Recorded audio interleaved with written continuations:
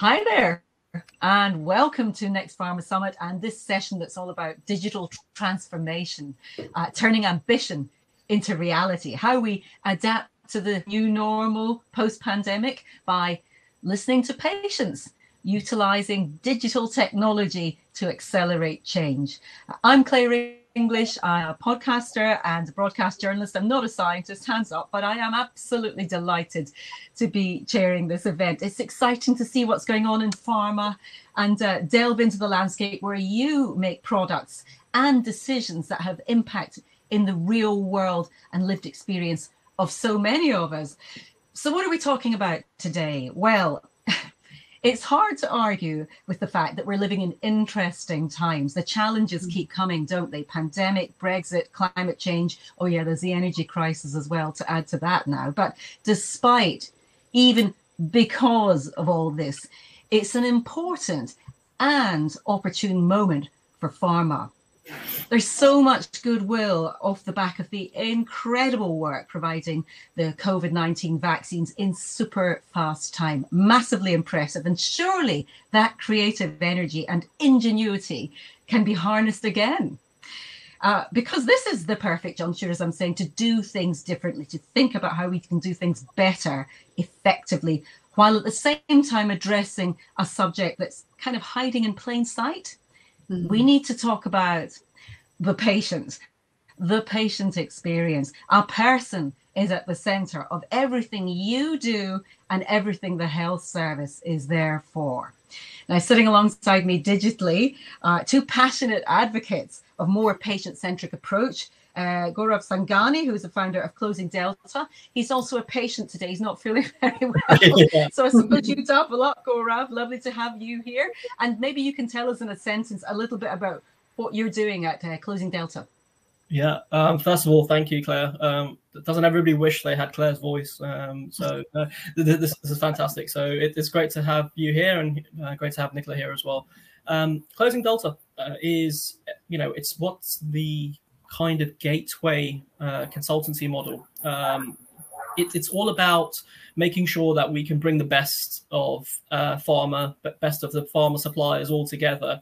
What I've historically seen is that you know um, people are very good at certain things um, within pharma, but actually bringing the best of the best together, um, you know, really is the model for Closing Delta. If you think of it as a package holiday, this is the VIP rockstar treatment.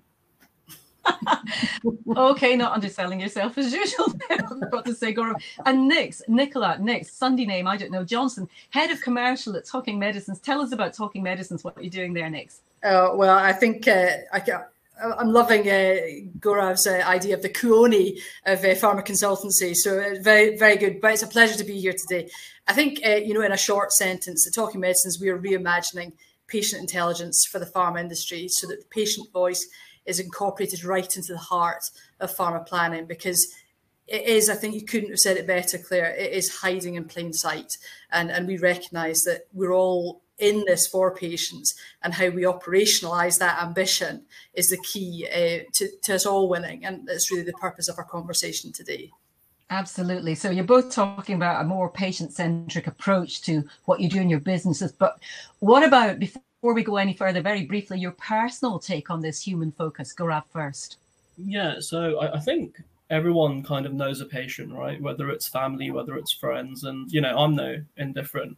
Um, my father had a failed cataract operation. I think it was a one in a five thousand chance of what actually happened to him could happen, but the you know lack of information around that was was quite staggering. Um, and actually, you know, it was almost like, well, yeah, you, you know, you've lost your eyesight in that eye now, kind of, mm-hmm. you have to live with it. And that's quite significant because it changes the, you know, the, the, sort of trajectory of life for somebody who's highly independent, etc. Mm-hmm. Um, and then I think, you know, my mother um, as well, she, she's had, you know, multiple conditions, but following bereavement of her, you know, her sister, she got um, kind of stress-induced uh, polymyalgia rheumatica, you know, which is an mm-hmm. autoimmune disease, essentially just kicked in. Uh, we didn't know anything about it. You know, um, English being her second language, it, it's it's almost that much harder to tap into that sentiment. So I think you know, as you said today, I'm the patient uh, running a fever. But in in, in terms of, um, we all know someone, don't we, who, who is a patient.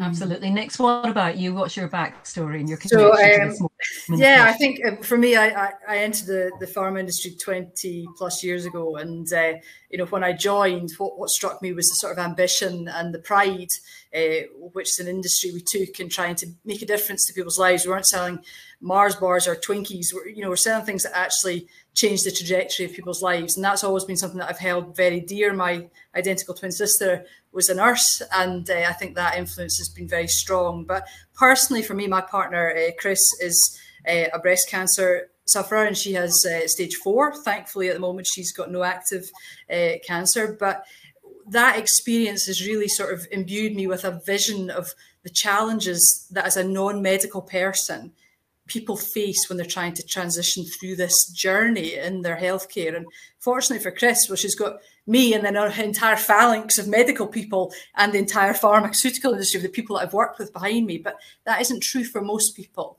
And I think if we are able to truly listen to the voice of the patient, we're able to democratize health in a way that allows us all to experience the benefit that pharma invests so much money and time into to really bring these you know amazing cures you know, therapies and indeed vaccines that we've seen in the last uh, 18 months to market. And I think it's really how we just, for me, that's been a quest for, for 20 odd years. And I'm coming at it a different angle now, but uh, it, it's so important because it is all our lives and it's all the family, all the lives of our family members and our friends. And, and we need to, we need to own that and, uh, and, and really strive to do better.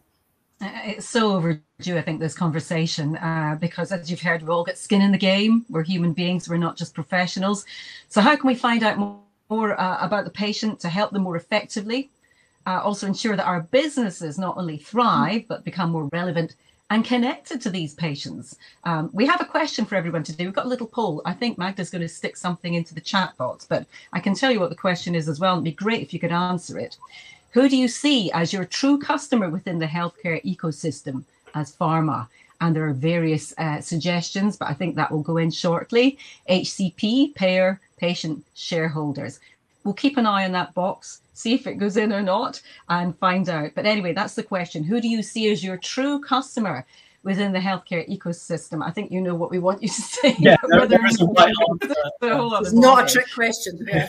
not a trick question. Not a trick question. Be honest. Be honest. Anyway, we're going to get cracking because we've got quite a lot to cover in our conversation. Please do stick thoughts in the chat box as we go along as well. Oh gosh, this is a really simple opening question. What's changed in the last 15 months in the healthcare world? Well, brace, brace. Nick's first. Goodness me, Clare, it's an enormous question. And with uh, 22 minutes left on the clock, uh, where will we start? So I, I guess, you know, we, if unless you've been hiding under a rock for the last 15 or 18 months, you will have, you know, it won't have passed you by that the world has changed. Uh, the way that people interact with their healthcare services, their doctors, uh, and how they access healthcare has, has been radically transformed by the pandemic. Um, pharma's ability to bring vaccines in an extraordinary amount of time into the into the market and actually start to change the trajectory of the pandemic has been extraordinary. And I think that has probably given pharma, for want of the pun, a shot in the arm in terms of a reputational piece. Um, but it's also changed the imperative because patients have now where we might have just gone, Dr. Google, uh, have actually had to rely on the internet, their peers, uh, conversations with strangers all across the world to understand the trajectory of the disease and to get information that can help them navigate that. And we won't go back. We can't put that genie back in the bottle. So now that consumer based expectation that we as patients and people have is starting to move into the healthcare space. I think it's really raised the bar for pharma in terms of understanding exactly what, as a patient, my journey would look like. How do I get top quality information and support that will let me get what you're telling me I'm going to get from these medications? So, you know, there's there's just and I, even something like public knowledge of immunology. Who knew about that? You know, and, and how they honestly, I mean, I had to go and do a physiology degree to understand all that sort of stuff.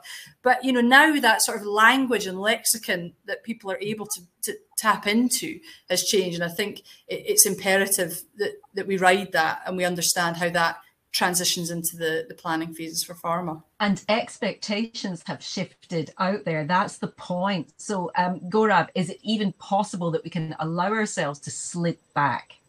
I, I, ju- I, just don't think it's possible. Um, you know, we look at all the data, whether it's the, um, I won't steal their thunder, whether it's the Essentia data or whether it's the Deloitte uh, study, um, e- even if we just look across the board at the amount of elective procedures now left to do uh, within the NHS, I think, you know, top of my head, it was about 4.7 million procedures sitting there. Um, you know, this morning, Ali Parsa spoke about Babylon and, you know, how they've actually reduced, um, you know, A&E um, admissions. So digital tech transformation, all about the patient voice. This is all here. This is not going back anytime soon. Um, but also, you know, where where does pharma kind of stand on it? Is it a sort of interested observer, or you know, do we actually want to get involved and do we want to start doing things? And you know, I'm not going to sort of be carte blanche about it. I think there's some fantastic initiatives being done. You know, I can talk um, personally to Christine von Raesfeld and the work that she's done in autoimmune. Um, you know, Tina and Prakash, amazing work she's doing out there in the US. Tina um, Baradia in MS so there are some called Tina. I've noticed that's bizarre, but uh, we can talk more about the, the exemptions mm. later on. But I mean, what you're saying basically is we've got traction there, we've got an opportunity, and yes, so much has changed. Did we need this reset button to happen? It's a terrible thing to have a pandemic to mm. to use mm. as a launch pad for good, but Gaurav, that's what we've got. You, you have, and it's um it's one of those ones where you're kind of adapting or dying. And I know it sounds really sort of cliche, but there, there is. You know, we, we're seeing companies which are 100, 200 years old disappear overnight, and there is this kind of modus operandi that is changing mm-hmm. um, in, in pharma for sure, and for patients for sure. You know, even things like eConsult and what Murray is doing there um, is actually driving th- those sort of changes. So I, I think um, we see it we can't unsee it, and uh, you know we really need to get behind it. Well, I'm going to crack on because we don't have off long. But the second question I think we want to look at is uh, we acknowledge the patient is key to everything we do, but are we getting it really? Uh, why is patient engagement so difficult, and why is it so important? Next. Well, I suppose, and actually, I'm going to reference Gaurav's uh, conversation with Clare earlier in the year on our podcast. You know, you wouldn't buy a pizza and then ask the pizza delivery guy whether you enjoyed it. You know, but as as a, an industry, we found it extraordinarily difficult to maybe tap into the voice of the patient and to really understand how we take that insight in a safe and compliant way and bring it in to the planning process and to do that at scale. And I think, you know, to go back to the first question about what's changed, actually, if you think about AI, ML, I mean, the, the expo is littered uh, with with fantastic technology to speak to that. And, and we're no different at Talking Medicines. It's about being able to do that at scale and really bring that in. But if we don't understand the patient journey, if we don't understand the reasons why people fall off therapy or find it difficult to stick with their therapy, or just sort of go, I don't feel ill. Why am I taking this? You mm. know, I've spent a lot of time selling lots of different products when I worked in the pharma industry where that was the case. So engagement is the key to the outcomes that we seek and the outcomes that we see either in, in the sort of phase three trials or in real world evidence. But in order to do that, patients need to be active participants. They cannot be passengers in that journey. And the only way that we can do that is by listening to them. And if but they need confidence to do that, don't they, Next? Because that's the point. A lot of patients might think they want more information. How do we enable them to feel confident to ask questions and know the right questions to ask? Totally agree. And I think that we have to de uh, deprofessionalize the language, but we have to understand the language that patients use. You know, in the pharma industry, we can all talk around the houses about medical terms and we can get, you know, wired into our healthcare professionals and do the same thing. But that's not how people talk. People talk about, oh, I've got this bad itchy leg and, you know, I've had a bit of a funny turn. And we need to understand that language. And that's what makes it so different. Um, to the professional language that we use in the industry. And in order for us to really speak to that, we absolutely need to understand that lexicon. And, you know, that is absolutely central to what pharma needs to do to really empower their patients because that is the win win win. Everybody Gaurav. wins if we get this right. Absolutely. Gaurav, you're, you're nodding along there. What do you think? Yeah, I you know I, I think Nicola we, have spoken about this via the podcast as well with Clare. It, it's it's an area that keeps sort of rearing itself. Like we, we try and talk about it. Um, you know, I always joke about the brand planning decks in pharma and how many patient pages do you have, and if you've got like you know less than the ones that you're putting in for your digital content strategy, then kind of pull it back because um, you know to that analogy, we we do not want to you know become the Amazon delivery driver. We you know it doesn't stop there. It, it it's more about um, having the focus on the right stakeholder, and the right stakeholder in any case is the patient, right? I think we all agree um, with that, and and you know we we all are here to make that transition uh, easy for the patient as well. You know, whether it's in oncology, whether it's in immunology, whether it's even just lo- you know long-term chronic states, there is a lot that that can be done, um, should be done. And you know, with the GP appointment now being what ten minutes, seven minutes for the consultation, three minutes to write something, are we really giving the best back to, to, to the patient? You know, this is across the healthcare system. It's not just pharma. Mm-hmm. It's not just about doing the right thing for the patients, though, isn't it? It's about pharma itself seeing the opportunities here as well, Gaurav. Yeah, and and the opportunities are there. I, I always feel that we see pockets of excellence all the time. Um, you know, and I can talk to a Swiss company we're currently working with, and you know that Nicola as well. You know, those pockets of excellence work really well. How you scale that and how you get the scaling right is something that's missing and that's where i see startups and you know these sort of vc backed ventures just literally go through the cascade so much quicker and so much better in terms of understanding the patient pathway and then being able to execute against it. So yes, there is a role for pharma, but it needs to be less cumbersome, uh, you know, kind of more agile. So I think that there is there is an element that we can all improve, and you know, hands up myself as well. You know, there's a lot more we can do to bring that patient voice in. And with the technology that we have now, with the AI that Nicola's talking about, you know, we can go down to the medicinal level. We can talk about the drug, we can talk about that molecule and the impact it's having on that patient's life. So for, for me, this is this is all starting and it's only going to get better with more people coming on.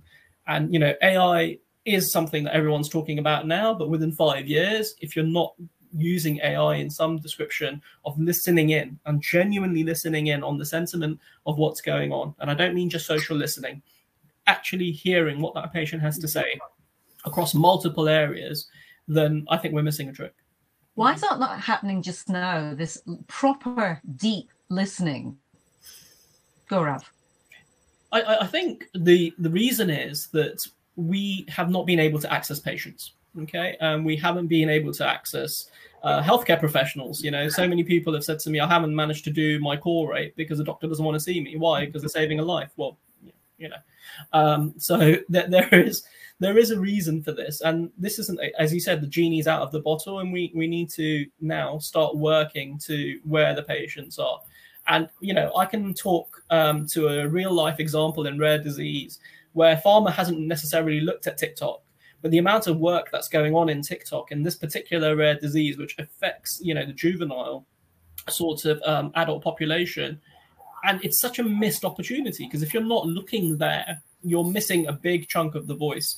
So I, I think pharma may think it knows it all, uh, or you know, and and historically it's done it well via market research and other pieces. But AI, ML, all of these areas now really need some focus and really needs um, some investment. I would say to actually not just from monetary perspective, but also from learning. What can you learn from that AI?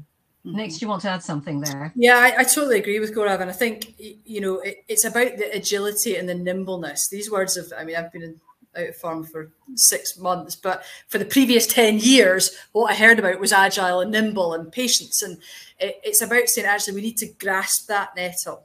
We find it difficult because of the multi-stakeholder ecosystem that we work in, but arguably if we we can make the coolest medicines with the most amazing Uh, evidence that sits behind them, but if we cannot get the people who they're intended to take to take them consistently, all of that is for naught. We won't win. The patient won't win, and the healthcare system certainly won't win. And you know, utilizing the technology that we have and bringing that into pharma, we can do the patient engagement in a way that is a is more nimble, it's more agile, it's compliant, so it allows you to actually have that finger on the pulse of the patient on a, you know, on a weekly, hourly basis. And that makes such a difference in terms of being able to test. You know, we in a in a sort of startup, we talk about A B testing. And it's something that pharma maybe is okay, there's challenges, there's medical, there's regulatory, there's all these things. I'm not saying it goes away, but you know, how do we get into that space of testing stuff and see what it actually means to patients, and then really being able to kick on with the stuff that is making a difference. And I think when we do that as an industry, I've said it and I'm going to say it again, it is a win-win-win. And Gaurav's spoken to it very eloquently that what pharma, the challenge is, is customer experience is a well, as we say in Scotland, a well kent face. So it's well known to a lot of big players, your Googles, your Microsofts, your Amazons, take your pick. And the risk is that they will swan right into that space. And pharma needs to think so far beyond the pill in terms of that holistic value add piece. And that's mm. where, you know, the work that Gaurav does, the work that we're doing here at Talking Medicines really speaks to starting to build that holistic approach to patient care rather than just thinking, well, you've got your prescription. Yeah. You know, and crucially, so. there is customer demand for this. There is patient demand for this, do you think? Yeah, I think so. I think when we uh, think about how busy we are talking to people, that certainly uh, screams uh, enthusiasm and passion for the subject. And certainly from the conversations that I've, I've, had, I've been very privileged to speak to a lot of people who are absolutely passionate advocates about this. I think what we need is to make that a much more less about the pioneering voices and more about the day to day voices. We need to enshrine that kind of mindset right into the heart of what we do in terms of the brand and content planning because it doesn't just live with I think the challenge is often we can think, well, patient engagement sits with patient engagement or external affairs. It doesn't. It sits right across the suite of the departments. It sits in medical. It sits in the commercial functions. It sits in the patient engagement. It sits in the clinical trials. You know, if you're we're looking at work for early launch, you know, what are you learning about your ecosystem before you get into market to understand the challenges that your patient might feel?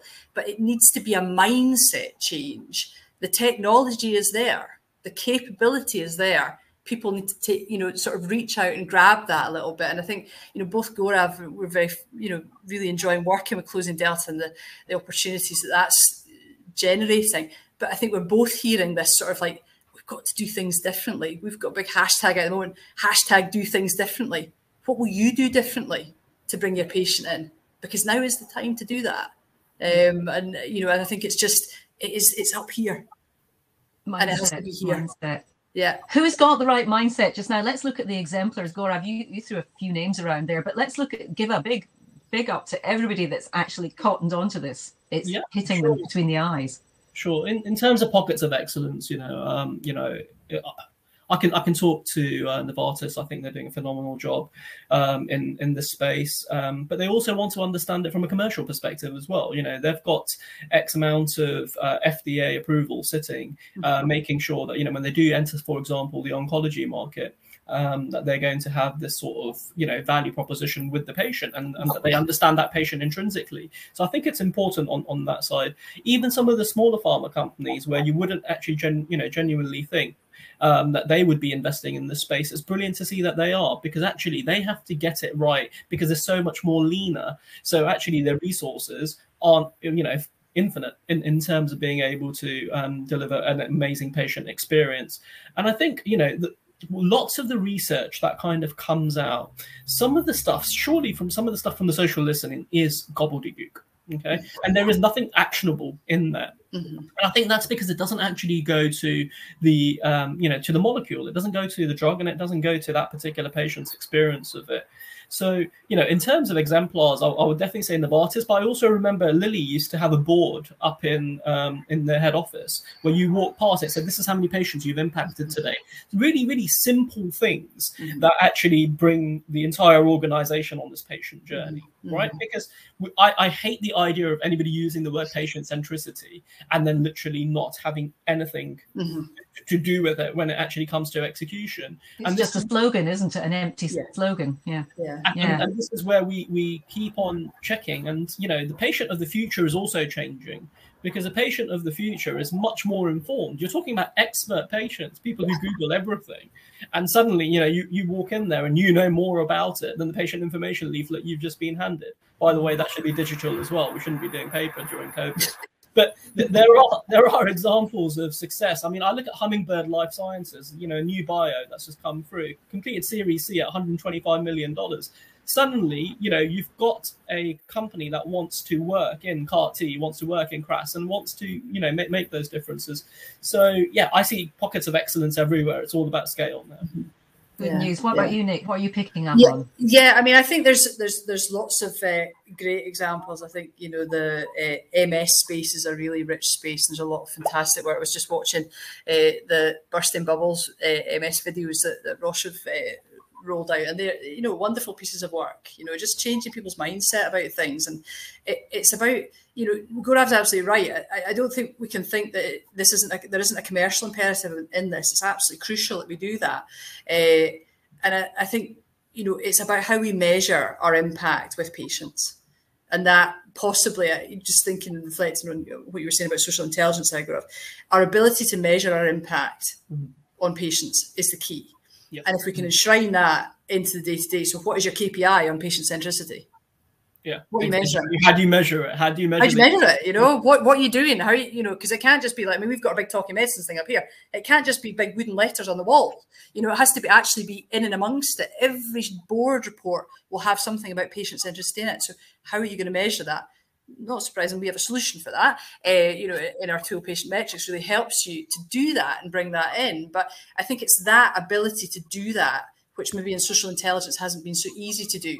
Um, that changing that paradigm about being able to say we're doing these things and we're going to understand what happens when we do these things, and then we're going to learn and we're going to move forward because it has to be a learning journey. Nobody's yeah. saying you need to have the answers out the gate, okay. but you need to. I am I'm squinting at that clock, and I really I know. I was thinking, I better shut up. I know. We could sit here all day. Sorry, everybody.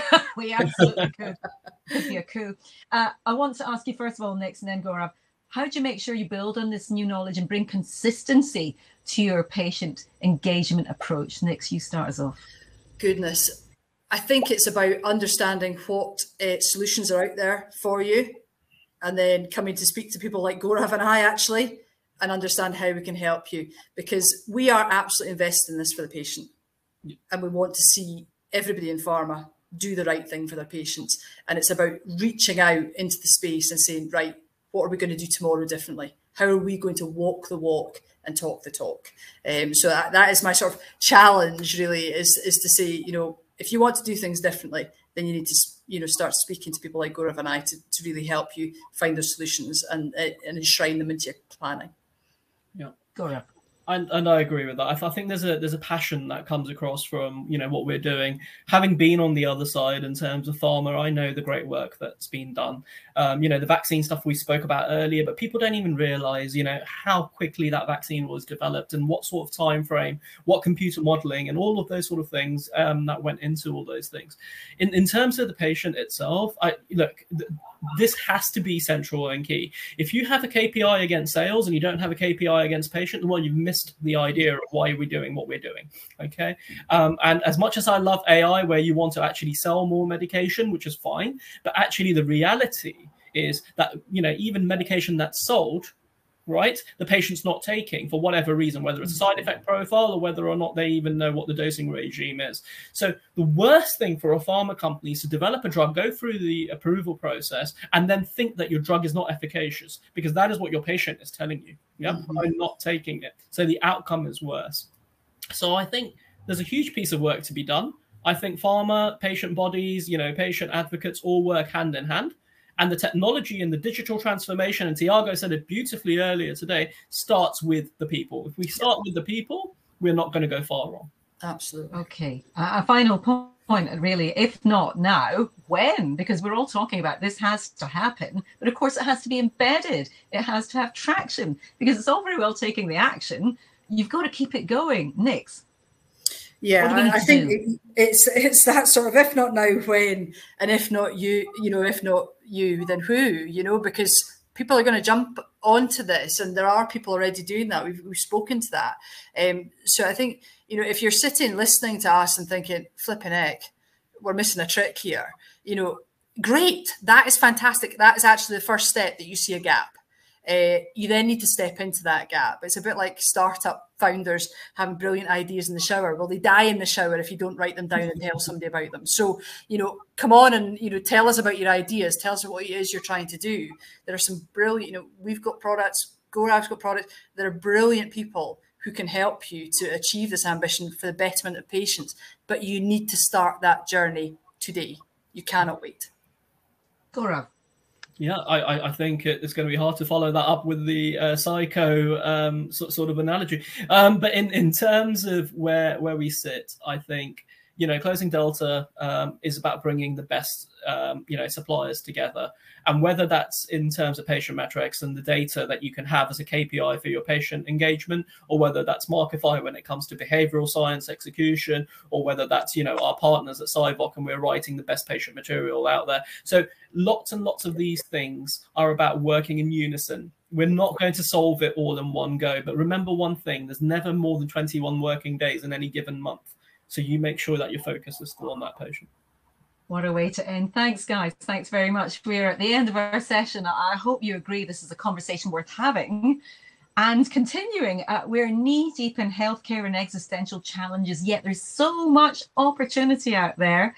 Let's start thinking about the patient's experience. Uh, we can do much better. And in order to harness your expertise, your uh, your creative energy and your compassion as a human being. Nix and Gaurav are very keen to talk to you if you want some more information how they can help you spot the opportunities and begin to establish a genuine lasting engagement with patients. It's no longer good enough to tick that box that says we already do social listening. Absolutely not good enough. Get ahead of the curve, be pioneering. It really is in your gift to change things. Don't know what happened to that poll result, but it'd be great if you could fill it in anyway, and then we can crunch down on it later on.